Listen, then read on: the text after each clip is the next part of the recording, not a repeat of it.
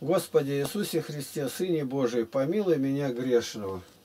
События дня. Номер 497. Эпиграф 1 Коринфянам 15.13. Если нет воскресения мертвых, то и Христос не воскрес. Это у нас идет сегодня 24 Опять что-то у меня тут не ладно. Выходит, тогда надо 498 поставить здесь. Как, как это воскресенье-то у нас не было. Это за 23 выходит. Ну да, за 23 Сегодня 24 -е. за вчерашний день. Значит, здравствуйте. Решилась вам еще написать по теме совместной молитвы. Извините, если отвлекаю. Вот сегодня на молитве Игнатий Тихонович сказал, что раз люди не присоединяются, то вообще надо перестать совместно молиться. У меня вот такая большая просьба, предложение. Я знаю, что Игнатий Тихонович очень занят, и у вас свой распорядок жизни. Но прошу вас рассмотреть предложение э, о совместной молитве по утрам по московскому времени промежутке 4.40 до 6.40. Ну, то есть 4.40 это по Москве, и получается у нас 8.40. 8.40 уже люди давно на работе работают. То есть нам абсолютно это неприемлемо. Мы не можем работу бросить, государственную работу и выйти. А когда мы говорим, что у нас вот 4.40 по-нашему, а в Москве 0.40, то встать любой может. Он встанет-то, и ничего от этого не будет. Ляша, ложись раньше, но в это время встанешь. То есть предложение невыполнимое. Совершенно. У нас люди-то работают. Это никак. И в 4.40 даже у меня здесь ну, никого нету, все разошлись, я один тут еще не сделаю. Никак. Я, я имею в виду не два часа молиться, а столько, сколько вы посчитаете нужным. Но в этом промежутке времени. В этом промежутке, вот и говорим мы как раз, мы это поняли. Но это невозможно. Тут то, чтобы вы, москвичи, для себя организовали именно вот такое время. Я сейчас э, постараюсь составить ролик утром именно об этой молитве мы показали. Теперь каждый может образовывать у себя на Украине, Беларуси. Ну, как-то сообщайте, делайте, начинайте работать-то. Вот я уезжаю сейчас на 4 месяца, нас-то же вообще не будет. Из Потеряевки не подсоединишься, там очень дорого и, ну, какой там через модем. То электричества нет, то еще что, в степи считай. Так что каждому, где ему выгодно. Допустим, ну мы в 4.40, а в это время уже Два часа дня где-то. Два часа дня. И как он может бросить и молиться-то? Никак. Но встать среди ночи это может любой. Это ни на ком нигде не отражается. Только ну, трудно вставать, но зато раньше ляжь, а после молитвы можешь еще прилечь, сколько время есть. Вот поэтому никак нельзя. Дальше.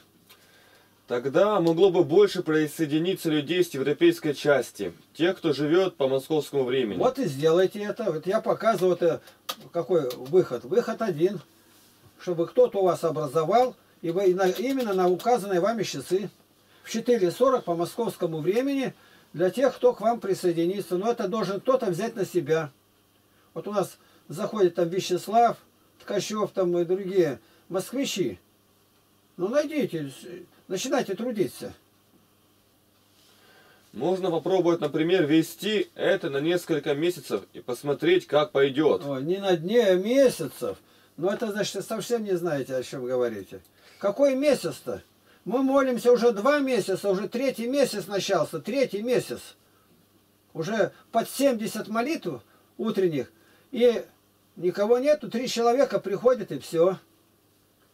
Вот тут и проявляется как раз. Одно дело поразглагольствовать, прийти посидеть, послушать, как говорится, ушами похлопать, а другое дело жить по-христиански. И у нас тут барнаульские многие знают, и в общине знают, и никого нету. И пенсионеров у нас сколько, и нету. Ну, и, ну ладно, бабушки там у кого-то нет, а у кого-то и интернет есть. Молитва это один из определителей. И вот как человек спит, сколько он спит, это определитель того, какова жизнь это свидетельство о истинном рождении свыше, о стремлении соединиться с Богом. Так, очень хотелось бы в нем участвовать. И было бы здорово, если бы Игнатий Тихонович выделил хотя бы 15-20 минут. Ни одной минуты нельзя выделить. В это время мы все на работе. Работаем в лесу. И как я могу там соединиться-то? Молиться мы и там молимся. Мы где бы ни были, везде молимся. Пошли с детьми по ягоды, и там помолимся. Коротко, но помолимся. Пошли купаться, помолятся. Простите мое скудоумие, благодарю вас, Елена Юзенкова. Ну, скудоумие насчет я не знаю. Это просто не, не, не вошли, не подумали. Может быть, и так. Сами подумайте. Так, Сергей Игнатов. Христос воскресе! воистину воскресе. Кто прочтет Святую Библию с карандашом в руках и осознает всю глубину божественной мудрости, тот постоянно будет обращаться к Священному Писанию, находя в нем советы и ответы Бога на все вопросы жизни. Ну, карандаш это для того, чтобы писать в дневнике, не на Библии. В Библии даже точки ни одной не надо ставить. А то разными цветами придумали, замазывают где-то. Абсолютно недопустимо. Выпиши себе место Писания, заучи наизусть. К сожалению, даже у тех, кто постоянно ходит в храм, нет открытого интереса к Слову Божию, которое они слышат исключительно на малопонятном церковно-славянском языке, как торжественную музыкальную мелодию. Да, вот он церковно-китайский язык для них, одинаково. Никто из званых на занятия по изучению Святого Писания после богослужения не приходит. О! Вот даже прийти послушать, позаниматься и то не приходят. Вот на меня некоторые нападают, а я слышу, они говорят, ну, недовольны чем-то даже у нас по Терявке. Но говорят, ну а вот создать общину, это действительно, это поистине, это никак, это невозможно. В общем, это же двое. Но еще они сойдутся в выпивке за столом, а далее уже разногласия начались. Община, вот, вот смотри, как у нас собрания проходят. Вот сейчас я выставил в Ютубе. Каждый день, как мы беседуем. Дальше. Фу, да. Никто так, оно никому не нужно, как и нашему священнику, который никогда не призывает прихожан исследовать Писание и не комментирует прочитанный апостол или пророков на церковно-славянском языке. На занятия прихожу один с сыном и буду дальше приходить, чтобы не было злорадства, что, мол, тот, кто призывает изучать Слово Божие после службы в храме, сам потерял к этому благоугодному делу интерес. Это интересно. Я захожу, сидит благочинный. Тогда он роль епископа исполнял, отец Николай. Ну и говорит, наши священники, тут молодые это, э, затеяли дело такое, чтобы катехизации проводить. А он с Украины, с Белоруссии, Войтович. Проводить катехизацию. Ну, я говорю, так это я считал, в газете даже было. Ну, а что у них получилось? Я говорю, а что? Да три человека всего ходят. И он такой довольный, что не получилось ничего. А благочинный проходит несколько дней, он прям совсем разулыбался. Никто не ходит. То есть подтвердилось его мнение. Да хоть теперь ты умер, теперь отвечать будешь. Ходит, не ходит. А вот теперь у нас вчера нов- новинка была, новость дня. Сергей Козлов парализованный из Воронежа. И он попросился, чтобы быть участником нашего собрания. А как это сделать? Никита, скажи. Как это? А вот по скайпу прям выходил он, как обычно, и беспроводной интернет был, и я просто вот как ходил с ноутбуком, прям на камеру, он видел все, налево, направо, как хотел. Ничего такого особенного не было, просто ноутбук и все. Ну и вот. И вчера в Потеряевке было собрание, и там рассмотрели заявление Сергея Козлова. Читай заявление. Мы православная семья Козловых, православный христианин Сергей Георгиевич Козлов и православная христианка Татьяна Ильинична Козлова. Обращаемся к православной общине имени Анфима Никомедийского. Смер- Анфима. Смерть 302 год, время казни от гонителей. Поселке Потеряевка, Мамонтовского района Алтайского края. Просим принять нас в члены вашей общины, пока без вида на жительство на территории деревни Потеряевка. Но не исключая такой возможности, что мы сможем стать полноценными жителями деревни в будущем. Обязуемся добросовестно исполнять устав общины и быть полезными в служении людям и Богу. Ну, надо устав как-то. Сегодня я постараюсь ему послать устав. И вот э, что дальше тут? А 12 апреля 2017 год и внизу, э, подписи Внизу. Все члены общины единогласно одобрили все заявления настоятель общины и протоиерей Иаким Лапкин, тоже роспись, печать. Печать. Печать синим светом. Печать поставлена наша. Это когда мы зарегистрировались, требовалась печать в отделе юстиции. Вот. И вчера у нас было, 12 апреля послал, а вчера было у нас 23-го. 23 да. Вот. За 10 дней, ну пока воскресенье пришло. И сегодня я ему отослал. Сергею. Вот я теперь это убираю. И дальше мы считаем. Он получил сегодня и отвечает. Сергей Козлов парализованный пишет Аллилуйя, три восклицательных знака. И дальше. Сергей Игнатов пишет Христос воскресе. Воистину воскресе. Дважды слушал этот очень инф- информационно насыщенный посыл со ссылками на Священное Писание и каноны церкви видеоролик. Все сказанное Игнатием Лапкиным о состоянии нашей церкви и священстве наглядно подтверждается на примере нашего свято-тихоновского прихода. Внешне все сносно, а изнутри как в гробу. Это Украина. Угледар, кажется, город называется. Прихожане приходят только во время субботнего, воскресного и праздничного богослужения. Заказать требы по прейскуранту.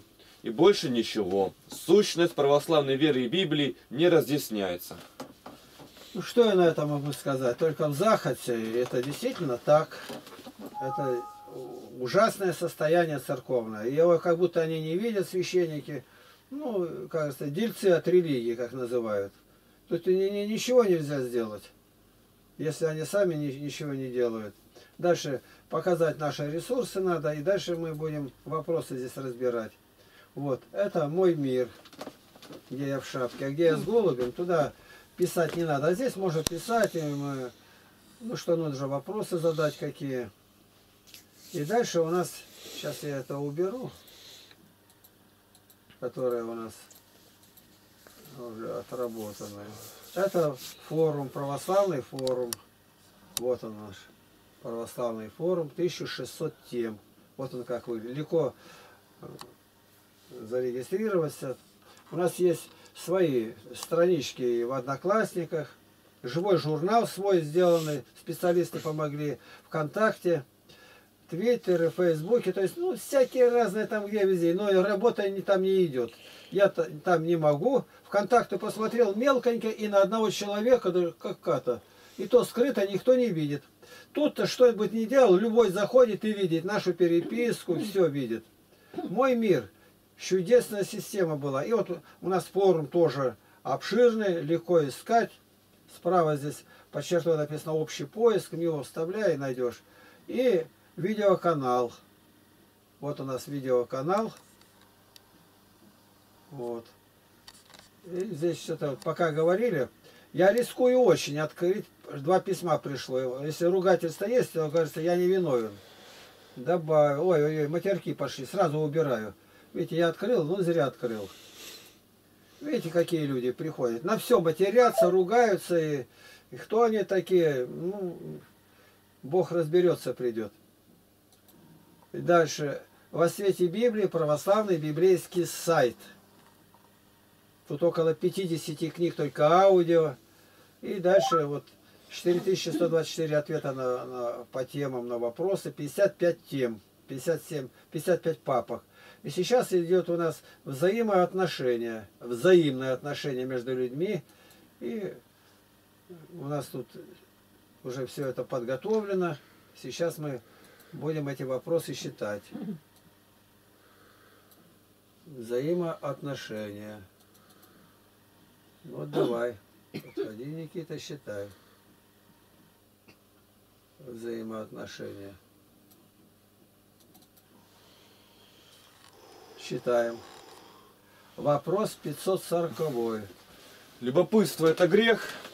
Есть люди до чрезвычайности интересующиеся чужой жизнью, особенно семейной. Ответ. Причина только одна – пустота собственной жизни. Жизнь этих людей крайне неинтересная, скучная и бездельная, ничем не занятая. Поэтому они превращаются в заразных мух, проникая в разные щели, подсматривая и разнося сплетни. Они опасны, ибо убивают сразу трех – себя, того, кого осуждают, и того, кого- кто их слушает. Иоанн Златоуст. Сирахов 11.30.31. Как охотничья птица в западне, таково сердце надменного. Он, как лазутчик, подсматривает падение, превращая добро во зло. Он строит кознен и на людей избранных кладет пятно. Видите, как, какой ответ должен быть. Вот это место все поясняет. Сираха 21, 26, 27. Это когда смотрите там, может быть не 21, а 20. Интернетная версия на одну главу не сходится. Неразумный сквозь дверь заглядывает в дом, а человек, благовоспитанный, остановится вне. Невежество человека подслушивать у дверей, благоразумный же огорчится таким бесстыдством. Иногда, быть может, раз тысячелетие, бывает и польза от подслушивания и подсматривания. Есфирь 2, 21, 23.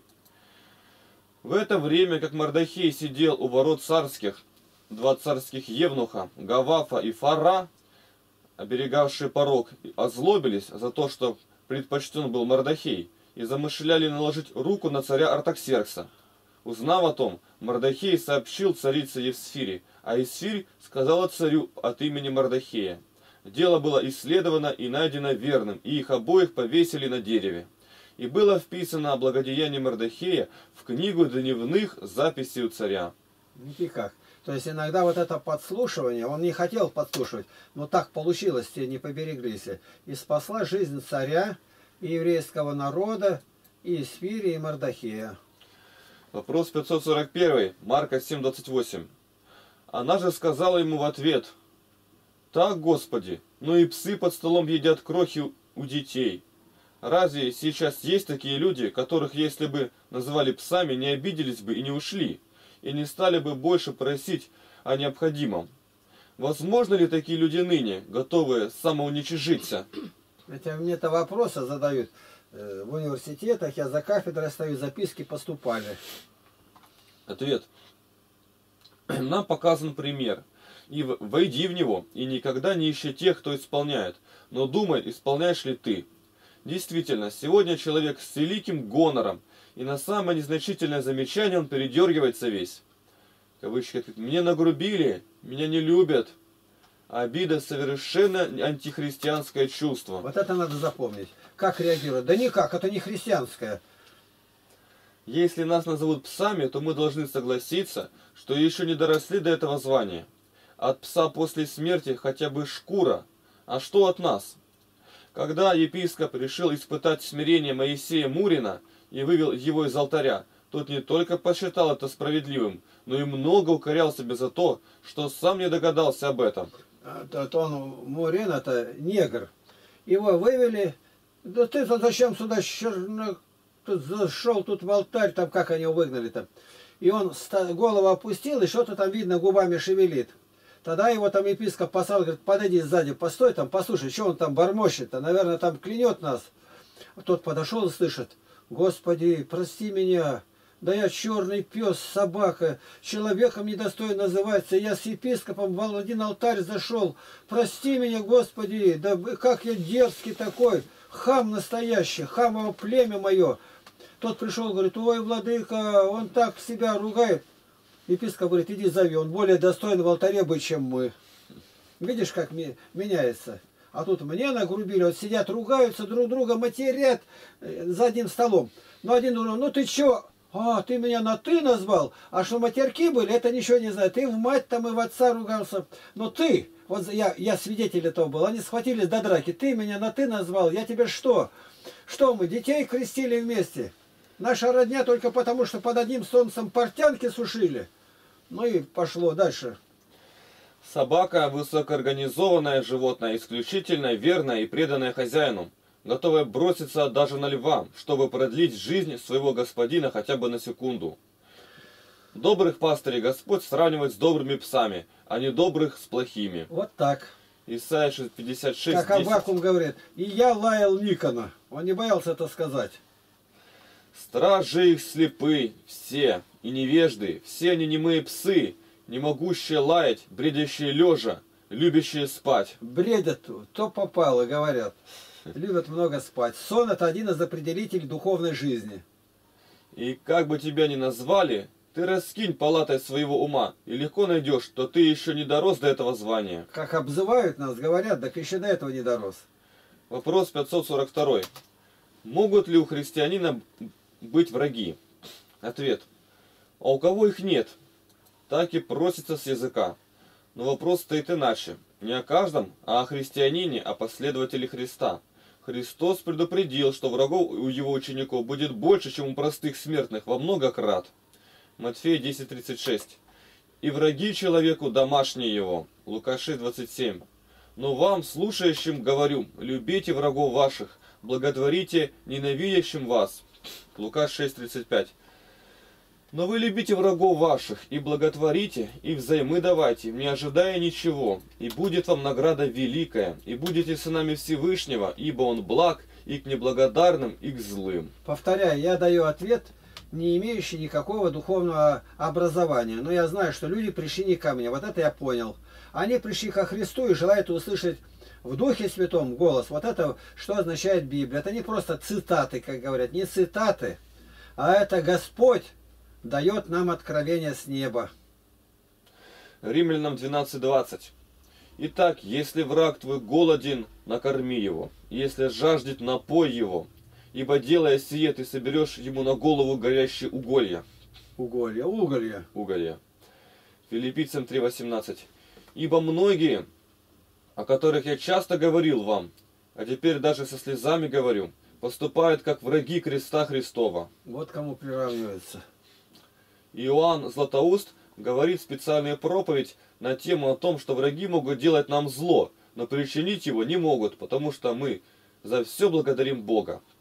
По большому счету враги нам лучшие друзья. Они содействуют нам при получении венца за победу. Они шлифуют наш характер. Даже сам дьявол с легионами своих ангелов христианину не помеха. Любовью, постом и молитвой, смирением и благодарением Бога сокрушаются вражеские твердыни. Вопрос 543. Можно ли разговаривать с человеком, который не совсем трезвый, на религиозную тему, если он при этом желает разговаривать на эту тему? Ответ. Если человек не трезвый, то реакция его может быть совсем неожиданной. Слово Божие предупреждает нас. Матфея 7.6. Не давайте святыни псам и не бросайте жемчуга вашего пред свиньями, чтобы они не подпрали его ногами своими и, обратившись, не растерзали вас. А люди говорят, напился, как свинья. Если это вам знакомый человек, то отложите беседу, пока он протрезвится. Сираха 5.11 Не вей при всяком ветре, и не ходи всякую стезею. Таков двоязычный грешник. Притча 26.9 Что колючий терн в руке пьяного, то притча в глупцов. Сирахов 31.30. Печь испытывает крепость, лезвие закалкою, так вино испытывает сердце гордых пьянством. Тавита 4.15. Что ненавистно тебе самому, того не делай никому. Вина до пьянства не пей, и пьянство... До опьянения.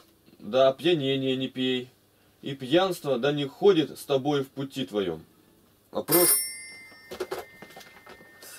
Христос воскрес! Вопрос 544. Можно ли снизойти к неверующему человеку, идущему к Богу, к его недостаткам или привычкам? Прическа, украшение, одежда, или резко отвергнуть это? Не так, как баптисты приобретают, разрешая все, как и прочие сектанты. Может сразу сказать твердо обо всем трудном, чтобы поскорее отсеялись? Ответ. Ни о каких снисхождениях Церковь Христова никогда не знала, но уже на подходе к стадии оглашения язычники освобождались от всего ненужного. Смотрите житие святого Севастьяна. Как человек, отходящий с этой земли, оставляет все, что связывало его с землей, так и человек, обращающийся к Богу, умирает для прежней жизни. И Бог творит в нем все новое. Такому прозелиту, вновь приходящему, необходимо разъяснить подробно вредность мирских привычек и все обосновать на Священном Писании. Целесообразность того, что есть в христианстве, и что... Пока, показать. И чтобы он своими руками сжег все галстуки и помаду, и разбил бритвенный прибор, сжег все чародейные книги, Деяния 19.19. 19. Золотой телес должен быть сожжен и развеян сразу, Исход 32.30. И взял тельца, которого они сделали, и сжег его в огне, и стер в прах, и рассыпал по воде, и дал ее пить сынам Израилевым. Думаешь, почему? Это самое сильное рвотное средство. Их выворачивало, может, не один день. Когда Как они... на корабле, когда большая качка, то хочешь не хочешь, неопытный человек, так приехал, все время тянет сблевать. И вот их как в бурю начинает этих людей мотать. И поэтому нужно сразу сказать, сразу же. Интересно, я в Латвии был, ну и там одна зашла в собрание к баптистам. И ее Господь коснулся, а она блудница. С моряком жила там. И в это время она покаялась, об этом стала каяться. А ей сатана прямо явился, рассказывали мне. И говорит, что ты каешься-то? У тебя платье-то кто тебе подарил-то? За что подарил-то? Последний раз он приехал из Финляндии. Она срывает платье-то с себя. Да что толку-то, что сорвала платье-то? А бюстгальтер, это в прошлый раз какой у тебя моряк был? А трусы тебе кто дал? Она долой все с себя. Трусы. А теперь, да у тебя волосы-то, они напомажены чем? Там, какие тебе эти флакончики привозили-то? Она выскочила на улицу, там лужа, она упала в лужу, давай волосы эти. Вот как будто смешно, на самом деле в житии святых это описано. Все, притом сразу надо покончить со старым. Дальше. Когда Неемия узнал, что у многих жен иноземки, и с ними уже прижили детей, он немедленно собрал собрание страны, и был устроен всесоюзный бракоразводный процесс. Как человек, который вырывается из плена, жаждет освободиться от оков навсегда, так и вырывающийся из тьмы заблуждений, язычества и атеизма должен желать покончить со всеми вредными и ненужными привычками. А не когда-то, что-то, пока еще говоришь, только сразу. Это абсолютно одинаково. Но сегодня на это они не пойдут. Что-то экономия. У них ни Бог, ни каноны, экономия. То есть послабление. То есть разжиженность. Какой он поп, таков и приход. Вопрос 545. Можно ли христианину применять приемы самбо для обороны? Ну тогда не было борьба без правил, это никто не знал. Ответ. Дальше. Поставлен предел, не убей. Все остальное в пределах разумности. Обезвредить, задержать, сдать в милицию. Убежать, но не убивать и не обманывать. Главное здесь молитва и помощь Божия. Вот так. Псалом 32:17. Ненадежен конь для спасения, не избавит великой силой своею. Когда я был в Синоде, мне рассказали про одного диакона, на которого напали два негра ночью. Он да, маленько не, был. Не, не рассчитал силы, но схватив их за шиворот, стол стукнул друг о дружку лбами, и один из них ушел в потусторонний мир, а другой блаженным запечатлелся перед судом. Потом мне в скаутском лагере его дочь показали. Дьяконский чин с него сняли. Русские, богатырь, в Америке, даже рукой-то не ударил, а развел их, и они не ожидали. И как брякнул их, и мозги по асфальту. Вопрос 546. На меня один человек постоянно клевещет другому, а этот другой человек поначалу был на моей стороне, а теперь пошел на поводу у этого клеветника. И вот я не знаю, как мне в этой ситуации поступить. Молчать дальше, то есть не вступать с ними в конфликт, или пойти и сказать правду, что все это напрасная клевета, и тогда будет большой скандал, что делать? Видите, какие вопросы задают. Ну, какой бы ни был, но видно, что это живые люди, сидят на занятиях у меня. И... Лука 17, 3, 5. Наблюдайте за собою. Если же согрешит против тебя брат твой, выговори ему. И если покается, прости ему. И если семь раз в день согрешит против тебя, и семь раз в день обратится и скажет «Каюсь, прости ему». И сказали апостолу Господу, умножь в нас веру. Сирахов 19, 13, 19. Распроси друга твоего. Может быть, не сделал он того, а если сделал, то пусть вперед не, сделает, не делает. Распроси друга, может быть, не говорил он того, и если сказал, то пусть не повтори того. Распроси друга, ибо часто бывает клевета. Не всякому слову верь. Иной погрешает словом, но не от души. И кто не погрешал языком своим? Распроси ближнего твоего прежде, нежели грозить ему, и дай место закону Всевышнего. Всякая мудрость – страх Господень, и во всякой мудрости – исполнение закона. Если будешь молчать, как учат святые пустоножители, то, может быть, и будет польза, но не евангельская. Следует расспросить, запретить и сказать всей церкви. Матфея 15, 18, 15, 17. А то рассказывает там в житиях святых, она же Евангелие-то не соблюдает, а монашеские уставы. И вот один строил там из камней келью построить, делать-то нечего, давай вторую строить там подальше, подальше. Когда в одной это ему уже скучно, в другую перейдет, поживет. Подальше еще одну построил-то, и про него пошла молва. А один пришел, как сейчас Потеряев, а у вас дома продаются? Да не продаются, нету, самому надо строить, это лучше. Ты свой план сделай. Представь себе, какая возможность детей воспитать по-христиански. Где у тебя скотный двор, что ты хочешь завести? Потеряев, все это можно сделать. Ну, может-то можно, но неохота. И один пришел, попросил, я когда построю свое, это из келью эту отдам. Ну ладно, живи, он дал ему. Проходит время, тому надо туда, в свою келью, а он нет. Ну, мы же договорились, что в течение года ты построишь. И он посылает своего ученика. Иди ему скажи, чтоб через неделю освободил келью. Потому что мы договорились на год только. А то я приду и выгоню тебя оттуда. Тот пришел ему и говорит, мой учитель благословение тебе присылает. Ну, старайся, строй, когда у тебя получится, что сделаешь-то? Но а учитель пришел и говорит, он сказал, я через три дня уйду. Через три дня, конечно, он не ушел, он не знал, что уходить надо. Второй раз посылает, он опять ему говорит, чтобы через день духу твоего не было, уже огневался на него. А он это он приносит, говорит, он так благодарен, что живет здесь. Ну тогда этот не выдержал, старец пошел сам. Ну выгнать его-то. А тот, зная только доброе, то выскочил на встречу, бежит, пал перед ним, благодарю тебя, что ты меня терпишь-то. И он примирился с ним, хозяин-то этой кельи-то. То есть лгал налево-направо, а теперь примирился. Какой сатана миротворец? Потому что дьявол лжец и отец лжи. И это преподается как за образец. Никого не оскорбить. Матфея 18, 15, 17. Если же согрешит против тебя брат твой, пойди обличи его между тобою и им одним. Согрешит, обличи. Прямо обличи. Если послушает тебя, то приобрел ты брата твоего. Все, разговор закончен. Второй вариант.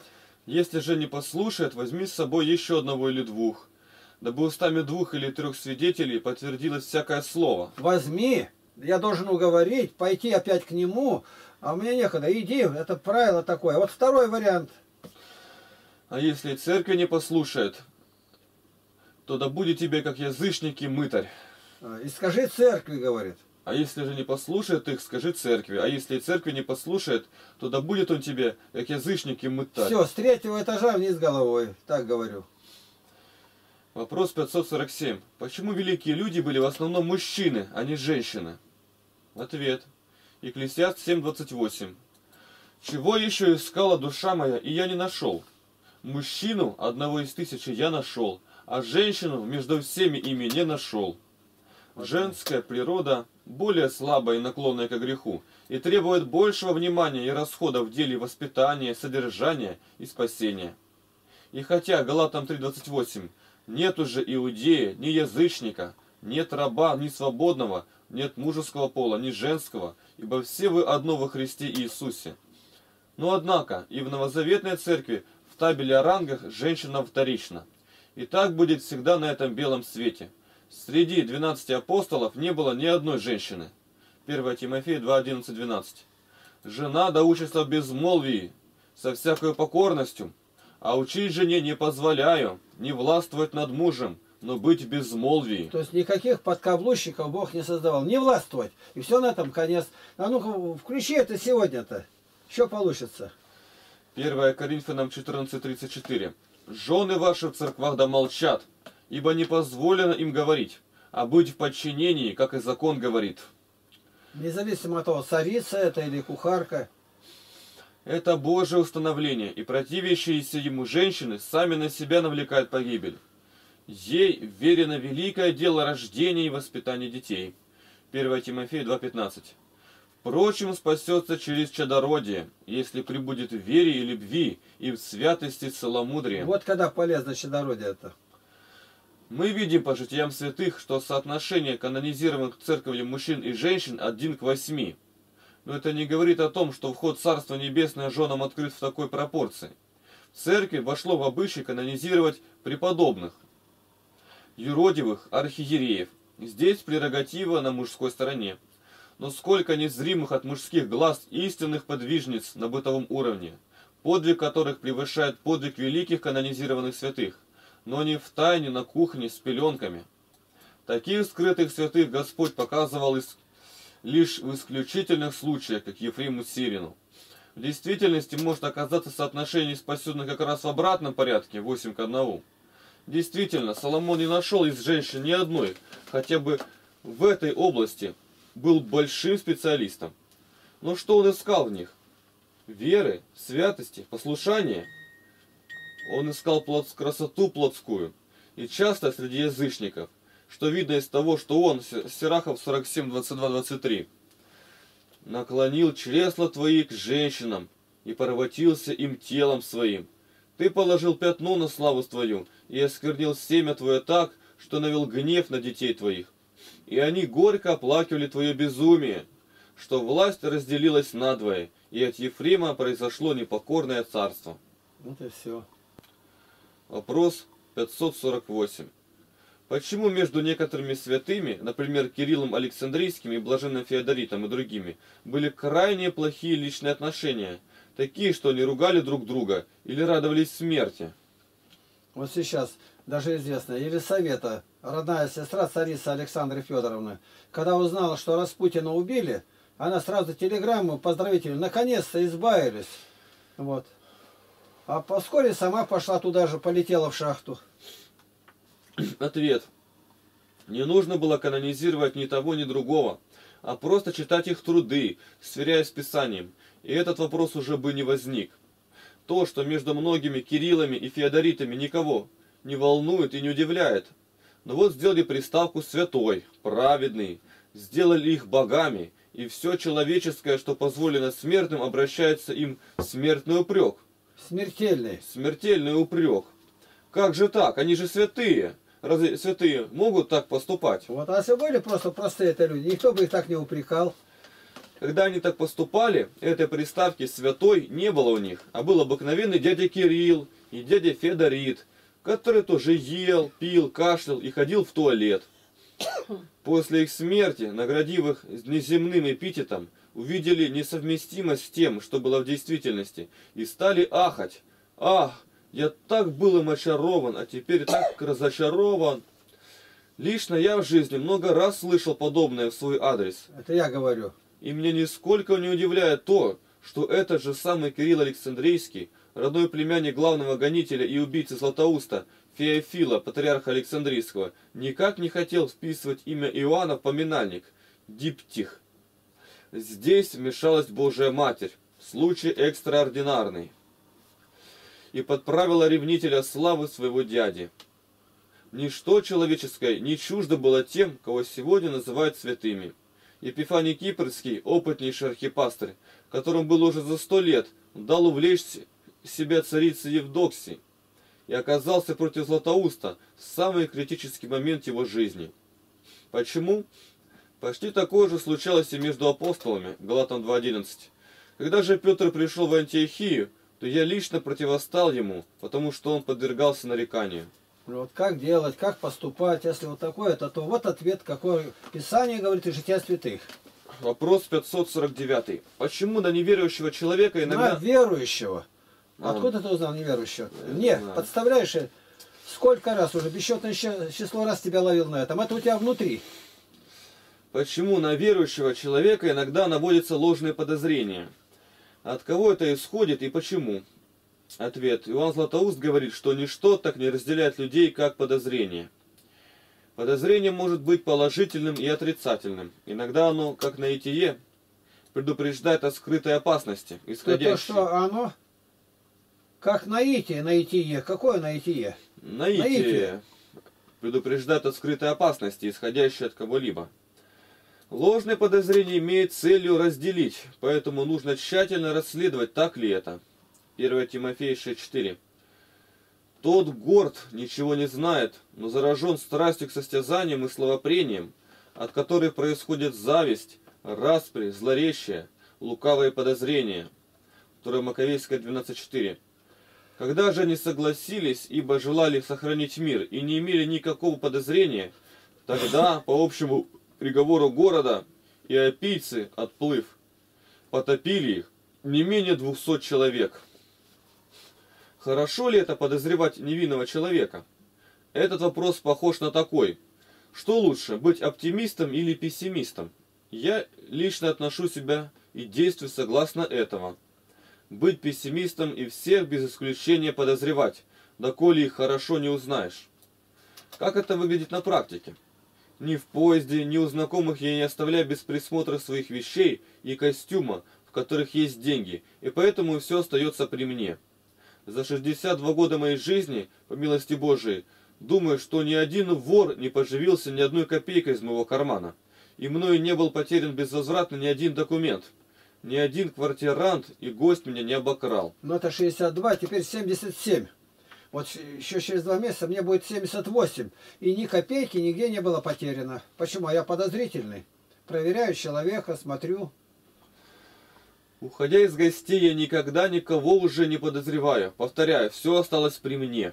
Но, если в комнате было 10 человек и у тебя что-то потерялось, ты подозреваешь всех. Что лучше? Все. У меня есть правило, которому хочу научить и вас. У меня очень большие связи в начальством, с начальством в городе.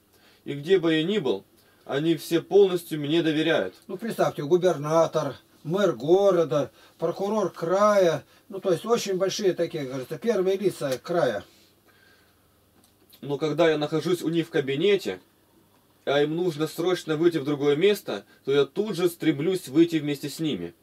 Не соглашаясь остаться, и они удивленно спрашивают, почему? Потому что у вас на столе, и в столе много документов, и, быть может, что-то уже потерялось до моего прихода, и вы это обнаружите позже. И не найдя утерянное, рано или поздно начнете высчитывать тех, кто был у вас в кабинете, и в поле зрения. И в поле зрения, которое у него есть. Подозрение попаду и я, а я этого никак не хочу. Поэтому я лучше подожду вас в коридоре. Да что вы, да разве можно так плохо думать о вас? За кого вы меня считаете? Значит, вы действительно растяпа, если оставляете посетителя одного, совершенно не зная его, с важными государственными документами. Вас нужно сегодня же выгонять с работы. Представь себе, это я у него, начальнику, и говорю такое. Каково ему это дело-то? Он никак не ожидал этого. Да, как-то не думал об этом. Интересно вас послушать. Я об этом скажу своим коллегам. Кстати, у меня недавно как раз была пропажа важных документов. Интересно. То есть он пошел в другой кабинет, и даже из кабинета могут выглянуть и посмотреть, что там за чучело стоит огородное. Учит его. Будьте уверены, об этом случае он расскажет и другим, и аудитория моих благодарных слушателей мгновенно расширяется. И я прошу вас, будьте подозрительны, но в меру, благоразумно. Так точно и о пессимизме. Я всегда ожидаю самого плохого, печального результата во всем, что меня обманут, не вернут, обворуют, сгорит что-нибудь, нападут, оклевещут. И в этом накале ожидания худшего я прожил всю свою сознательную христианскую жизнь. И готовясь к худшему, как бы непременно должно было это случиться, я заранее выстраиваю заслон на пути этих пакостей, благоразумно высчитывая ходы противника. И заранее же благодарю Бога за эти пакости, допустившего совершиться этому. Но в действительности очень и очень многое из мрачного, что я предполагал, не сбывается. И я всегда имею радостное настроение благодарности Богу, который защитил меня и скрыл от духов злобы и беспорядочных людей. То есть я уже знал, что случится, случится, а это не случилось. А он, даже с ним ничего не случилось, он и благодарить Бога не, не будет даже, не подумает. Послышишь, нет? Сиди спокойно прямо. Да я Слушайте, слышу. все, оговариваться не надо, пустое. И пустое? плюс Я- к тому постоянно помню, не забывая того, что много я еще и не предусмотрел, не хватило ума. И только вечности откроется, от какого позора и опасности покрыла меня амофором любви, преблагословенная Дева Мария. Среди каких бед пронес меня мой добрый ангел-хранитель. И в результате этого я имею в душе всегда неистребимый оптимизм, что силен мой Бог, который устрояет все к лучшему. Это я говорю с кафедры. А тут у меня сидят и представители ФСБ, и э, администрации города, и прокуратуры. Кто только не приходил на занятия в университетах. Это все мои ученики. И они тоже себе это применяют. Вот говорят, ну одного послали, какая-то фабрика там, Фестфалика. Отправили двоих, э, которым, чтобы там менеджеры, как называют сегодня, э, обувь. И один пишет, пессимист, пишет. Тут все ходят босиком, обувь никому не нужна. А другого послали, оптимист, он посмотрел босиком, присылайте два полных корабля, тут все босиком ходят. Такие же самые слова, но вывод, что их надо обуть. А тот, они не нуждаются, он сразу успокоился. Дальше. Вопрос 550. Хорошо ли, когда человек задает много вопросов, житейских или по Писанию? Ответ. Иоанн Златоуст говорит, научитесь не задавать вопросов. Вот так. Как это понимать? Есть вопросы, которые необходимо задавать более знающим, и есть вопросы сокрытые, о которых не надо любопытствовать. Второзаконие 29.29. 29. Сокрытое принадлежит Господу Богу нашему, а открытое нам и сынам нашим до века, чтобы мы исполняли все слова закона сего. Псалом 132. Не смирял ли я и не, унес, и не успокаивал ли души моей, как дитяти, отнятого от груди матери? Душа моя была во мне, как дитя, отнятое от груди. Вот ты прочитал Псалом 132, и все будут искать 132 Псалом. В данном случае необходимо Псалом 130, стих 2. Ага. Дальше. Говорят, что когда человек не задает вопросы, то это бывает по двум причинам. Или когда человек все знает, или когда ничего не знает. Он не знает, как вопрос задать. Уметь задать нужный и умный вопрос, нужно иметь голову. Даже с помощью симфонии ты ничего не найдешь, если не знаешь, что искать. Да. У тебя должна быть зацепка, хотя бы одно слово. Сирахов 38.3. Знание врача возвысит его голову и между вельможами он будет в почете. Любителям поставить в тупик своим вопросом апостол Павел говорит, 1 Коринфянам 1.20.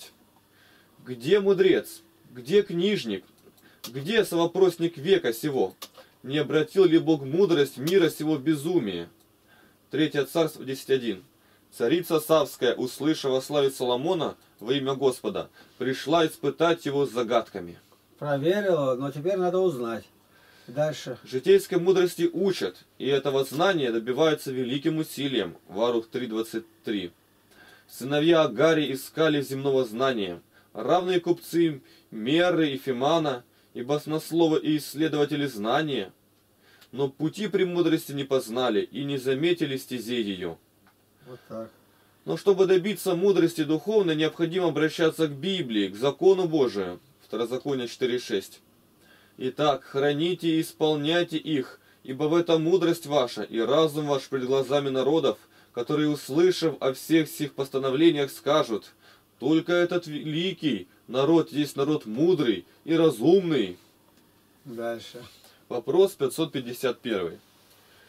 Целый день в соседней комнате у внуков гремит телевизор. Так что невозможно ни помолиться, ни отдохнуть. Можно потихоньку его сломать. Или это грех? Я уже два раза это делала, но они в тот же день отремонтировали и стали подозревать меня. Ответ. Эти внуки и дети ваши. Ваша кровиночка. Это плоды того, что вы сеяли в юности. Высеяли. Что вы, вы, вы высеяли в юности. Благодарите Бога, чтоб они вам об этом напоминают. И старайтесь к ним даже не заходить, но молитесь о них. И не показывайте даже, как вам тяжело. Если вы ночью будете на молитве, то днем телевизор вам даже не помешает, а на ночь они его не включат, ют, и вам ничего не помешает вылезти из-под теплого одеяла. Вот ответы какие-то.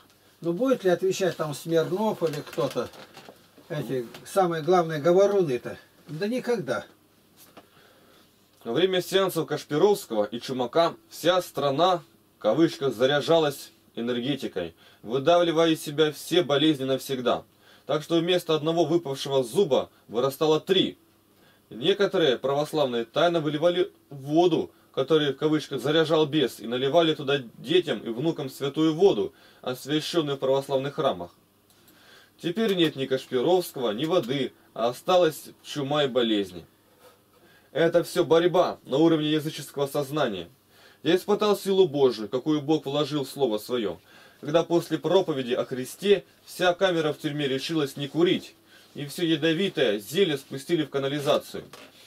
Беседовал с одним подвыпившим юношей, который держал в руках бутылку водки. Он тут же размахнулся и вдребезги разбил ее. Или когда я проповедовал у самой Красной площади, в Москве, на выходе из храма, вдруг подошла одна из слушательниц и вложила мне купюру в раскрытый Новый Завет и сказала, «Помолись, чтобы Хрущев скорее сдох». Нужно сеять разумное, доброе, вечное, всегда и всюду, ибо для Слова Божия нет уз. И тогда вы можете быть свидетелями того чуда, которое видел я, стоящий перед вами. Мне пришлось говорить о вреде телепередач, а у людей точно так же дети и внуки смотрят этот разврат. Хозяин раскрыл окно и выбросил телевизор с первого, с девятого этажа. А священник протеерей, кандидат богословских наук, несколько дней назад купивший телевизор последней модификации, тут же поехал домой и попросил епархиального шофера помочь вынести его и бросить в глубокий каменный карьер. Вот это проповедь. То есть я их зазомбировал всех там, которые были священники в епархии, как эти мои недруги говорят, да. То есть они не верят в труд Духа Святого. Я говорю то, что в моей жизни было. А вы хвалитесь. А чем тут хвалиться-то? Тут хвалиться нечем. Благодать Божия. Я вижу, что некоторые не верят этому, и вспоминаю слова Григория Низкого, брата Василия Великого, который рассказывал о чудесах, какие Бог сотворил через его родную сестру, святую Макрину. И ему также не верили, и он сказал, многие верят только в то, что они сами могут сотворить. А сам-то ничего не может сотворить, и потом веры никакой нету. Когда я приехал к моему родному отцу, у них был телевизор, а я говорил против этого рогатого ящика – хотя не прикасался к нему пальцем. Они спрятали его в бане под полком. полком. Бесом смотреть во время ночных кулачных боев. Обычно в бане являются или на стадионе. Вопрос 552. Чем, на ваш взгляд, отличается смирение от лжесмирения? Ответ. Прочитаем несколько мест из Святой Библии. Что нам скажет Бог о смирении? Люди многие хотят, чтобы их о них писали, говорили, показывали как образец, но у славы есть скрытные замыслы. Говорит Иоанн Златоуст. Чем больше человек гонится за славой, тем дальше она от него убегает. И чем далее убегает от нее, от нее в смирении, тем сильнее она прижимается к нему. Слава. Притча 15.33, 18.33, 22.4. Страх Господень научает мудрости, и славе предшествует смирение. Перед падением возносится сердце человека, а смирение предшествует славе. За смирением следует страх Господень, богатство и слава жизни. 5508 лет Бог сотворил, готовил сосуд благодати. Готовил. Готовил сосуд благодати для рождения сына своего возлюбленного. Богородица Дева Мария была полна всех добродетелей, но когда пришло время исполнения обетований, она сама отметила в себе только одно – смирение. Столь велик этот дар. Лука 1,48. Что презрел он на смирение рабы свои, ибо отныне будут ублажать меня все роды. Смиренный с полным упованием во все полагается на Бога. Бог дал, Бог и взял. Да будет воля Его святая. От Него помощь да приидет. Совершенно напротив, лжесмирение поступает. Лжесмирение всегда перед высшим себя – не перед Богом. Смирение же универсально и ценное перед Богом, перед людьми. Оно только для вида, для своей пользы, чтобы заметили его согбенную натуру, начальник или батюшка. И это до времени, пока он не влезет повыше. Дальше он отыграется, возьмет свой с лихвой. Лжесмирение особенно у тех, кто имеет впереди что-то высшее и хочет через кого-то достичь этого. Или это номенклатура, или верующие через священников лезут на небо. 3 Маковейская 2.16. Тогда всевидящий Бог и над всеми святые во святых, услышав молитву смирения, поразил надмевавшегося насилием и дерзостью, сотрясая его туда и сюда, как тростник ветром, так что он, лежа, недвижим на помосте и будучи расслаблен членами, не мог подать даже голоса, постигнутый праведным судом. Не нужно бунтовать даже внутренне против того, что дано от Бога. Как говорим, природой. ни на красоту, ни на рост, ни на способности, ни или затворенное чрево для рождения. Третья Ездры 9.45. И услышал меня Бог, рабу твою, после тридцати лет, увидел смирение мое, внял скорби моей и дал мне сына, и я сильно обрадовалась ему, и муж мой, и все сограждане мои, и мы много прославляли Всевышнего. Сил нет, ты уже осознал бессилие свое, осталось надеяться на чудо, прорезервировать свое прошлое, прореви, проревизировать свое прошлое, где не дал места Богу. Теперь уже только Божие чудо подвинет тебя к жизни. Иудеев 6.19. Господи, Боже Небесный, воззри на их гордыню и помилуй смирение родова нашего, и призри на лице священных Тебе в этот день. С премудрость 2.19. Испытаем его оскорблением и мучением, дабы узнать смирение его и видеть незлобие его. Сирахов 13.24. Сидит солдат, главное, и они решили, и э, чашку супа вылили ему борща за воротник. Испытать его смирение. Так где? Сирахов 13.24. Отвратительно для гордого смирения, так отвратителен для богатого бедный. Иудив 9.11, 16.11. Ибо не во множестве сила твоя, и не в могучих могущество твое, но ты Бог смиренных, ты помощник умоленных, заступник немощных, покровитель упавших духом, спаситель безнадежных. Тогда воскликнули смерть смиренные мои, и они испугались.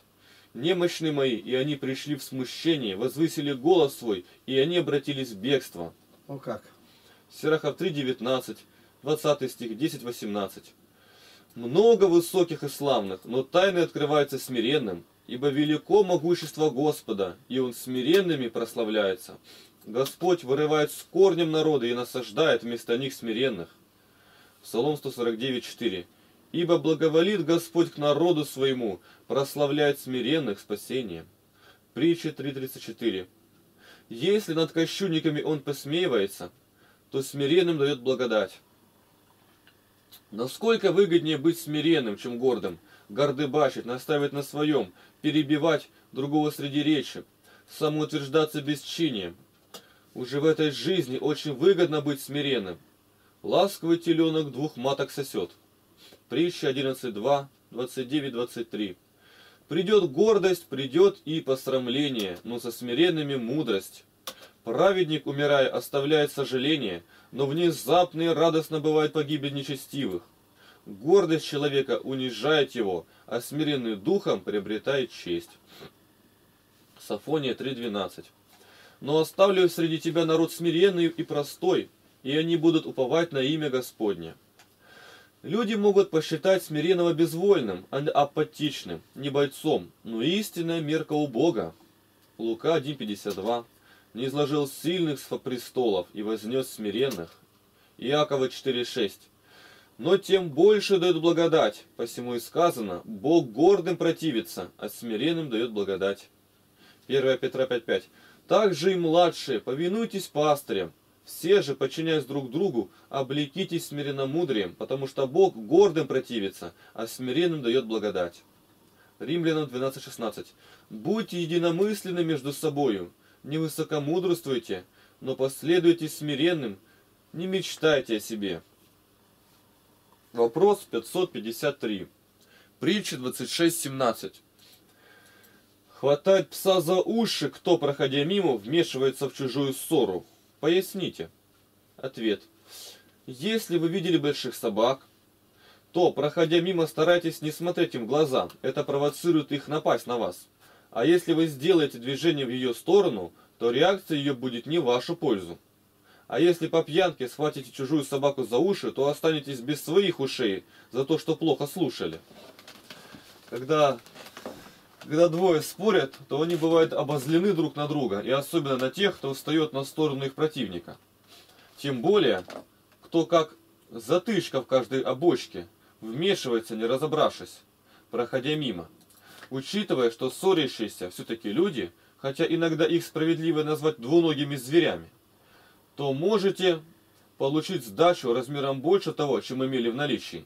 Каждый раз сам себе задавай вопрос. А мне это нужно?